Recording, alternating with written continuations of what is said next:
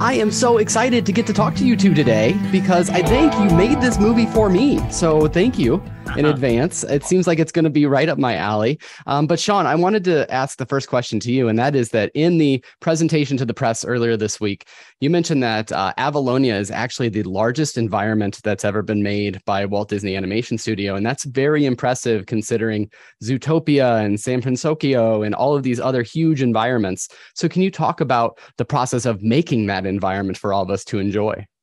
Sure, sure. Yeah, I was going to say. I mean, you know, really. Uh, uh, the Avalonia and then going into the strange world, um, uh, a lot of it, all of our environments start out driven by the story. Uh, so it's all in the need of the story. Uh, we'll get storyboards uh, early on. We'll start taking a look at those, um, and you know, really start working on what do we need to do in service of of of that particular scene and story that you're trying to tell. You know, at that point. Um, and then it's really us working uh, on the environment side with Mehrdad and the art team uh, to really start defining the rules of the world. We start from nothing. We we have mm-hmm. we have nothing. We're building everything from scratch. Um, and for particularly for a movie like The Strange World, um, uh, we're building a creating this new one where anything could be anything. So uh, that process for us is really about trying to then define what are the things that that that drive this world uh, what is this evolution uh, so that we can add that kind of richness and sense of history to to the world itself. Um, strange world is a very organic one so it's about then figuring out how that kind of those growth cycles go. You know i think Mehrdad and his team came up with this this really cool idea right from the, the get-go of uh, they're the trees in this world that as they grow they fuse together and they ultimately become the platforms mm. that other trees grow from uh, and it creates this space where there really is no ground it's just platforms out in space with other trees and other platforms growing you know out from them um, so we think so, then, so much of trees like uh, standing on those trees as we go up, like our family tree and whatnot. So it's a really cool uh, way to to do the new life cycle for this strange really world, right? Yeah, exactly. Yeah. Yep.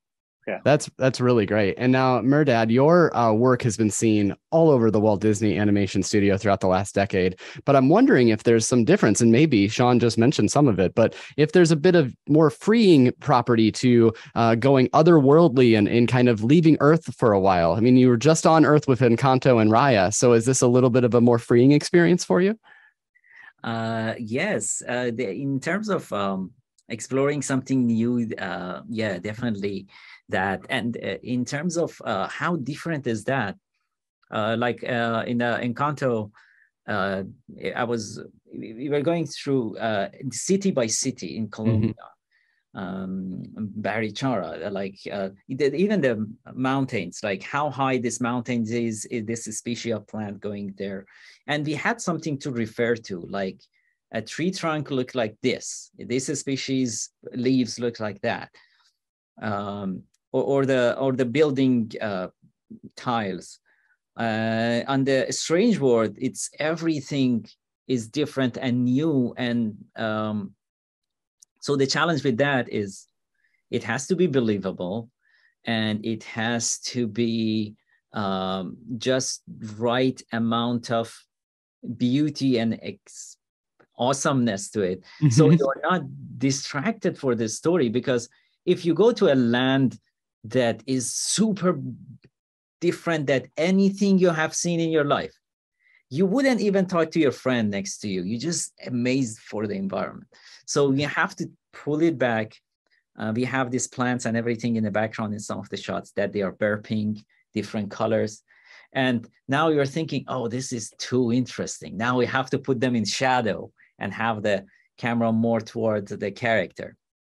And every shot we just redo every replace everything with the position of the character. Now the challenging was oh how to how to control all of these. Uh-huh. it was it yeah lots of back and forth between the departments That's so that's so wonderful. And Sean, I mean, kind of the same question to you. You bring this like amazing environment and color palette to Frozen 2, but of course you have some frame of reference for that. So in Strange World, was it uh, almost more of a, a, freeing experience? Did you enjoy that kind of artistry of being able to to create something almost whole cloth here? Yeah, no, absolutely. You know, and um, I think it's one of the exciting things that uh, that Disney does in general is that, our, our process is really collaborative. Um, so and and it's it's iterative. We'll you know we'll start out on the environment side for building it. Um, you know with general ideas, general rules for for the world. Um, but there's a lot of blanks to fill in as you're building up the world as you're going from the smallest pieces of moss down on the ground all the way to these largest you know platforms um, so you know then what we would do is you know the artists would get this opportunity to kind of fill in like all of these stories pull reference from hey i saw this image of this sea creature or this coral and i think it'd be really cool to put into you know to this or you know start looking at you know microscopic uh, photography or food um, uh, to really kind of pull a lot of their inspiration and and and get that in and then we would iterate on it. It was like they they would put an idea in, somebody would see that, somebody would riff off of that idea and add something to their work that that gave it a, a particular richness, and then um, you know so slowly you just you see this the world kind of evolve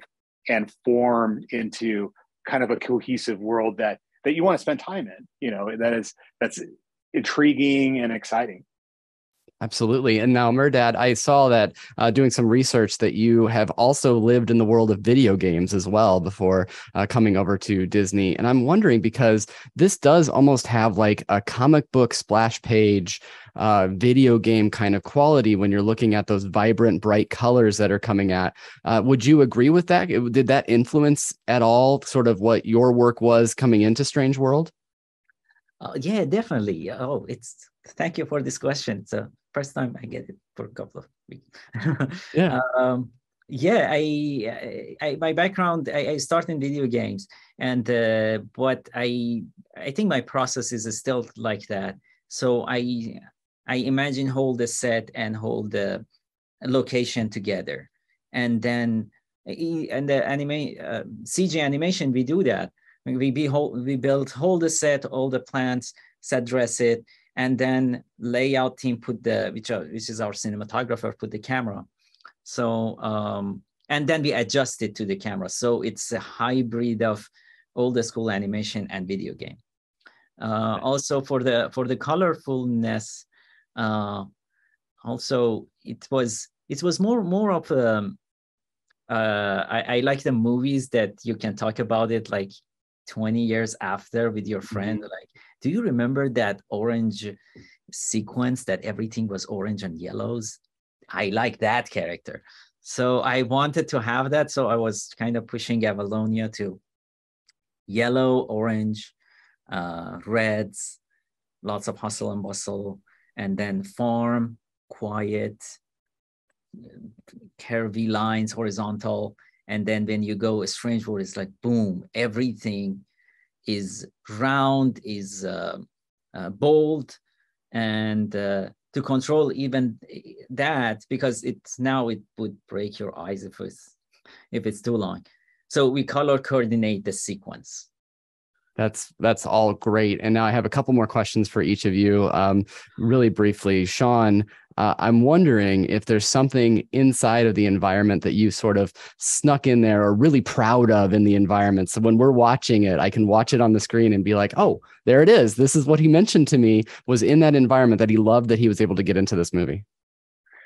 Uh, yeah, I was going to say. I mean, I think probably the the the, the environment that I'm kind of the most proud of. Uh, uh, would be you know we have this sequence in strange world where the characters are having to run across and you know kind of getting chased um, through the world itself.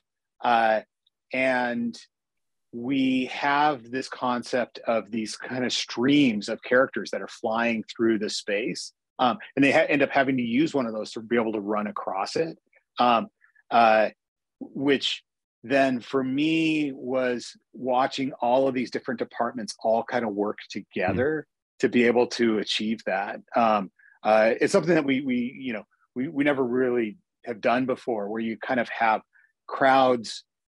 Uh, cr- crowds of characters and hero characters all kind of running uh, on top of them um, you know and is probably some of the are probably some of the largest vistas that we see of strange world itself um, uh, all happening kind of at the same time you know? And for me uh, the thing i love about environments is that i love building these these areas that you would want to go back to you know? So like when i look at those vistas i, I look at like oh i just want to see what's over that hill.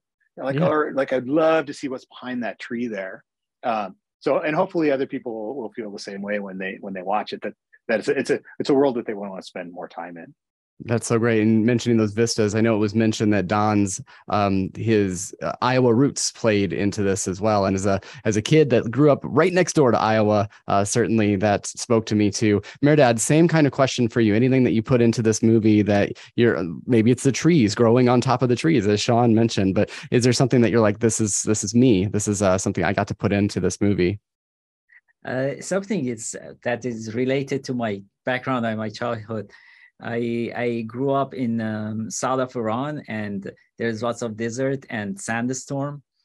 And uh, when there is a sandstorm, the weather gets everything gets orange, and uh, and you don't see the where the light is coming from, but there it's lit. Mm-hmm. And that orange color have the effect on every saturation of other colors around you. Uh, it's it's it's amazing to be in that and see it. Oh wow you and the the space that you can see in the front is like i don't know 20 meters or something. Um, so i we have a we, we have some some of that that um, atmosphere that mm-hmm. i was able to yeah i put it in the show that's so great. And uh, this is my last question. So before I ask it, I just want to say thank you both so much for your art and creativity that you put into the world because uh, really it just means so much to so many different people out there. So thank you. Um, but with that, I want to have a little bit of fun. I'm asking everybody the same question at the end, and that is what is your favorite adventure story? That could be something like a book, it could be a movie, it could be whatever, but this is an adventure tale, right? So, uh, you want to go first? What is your favorite adventure story? Oh, that's great question. Um, I I know that uh, it's Jules Verne, uh, ten thousand meters on the under. Yeah. The I don't remember the English name. Uh, Twenty thousand leagues under the sea. Yes. Yes. That's so great. Absolutely. And especially the Nautilus. I'm a big Disney parks guy. I love that the Nautilus yeah. used to be there. Yeah. yeah. Uh, Sean, how about you? Is there an adventure tale that you love? You know, I mean, I grew I grew up, you know, reading Jules Verne and and Edgar Rice Burroughs and all the rest of that. But but I would actually say probably the most formative one was, you know, going to the movie theater and watching Raiders of the Lost Ark.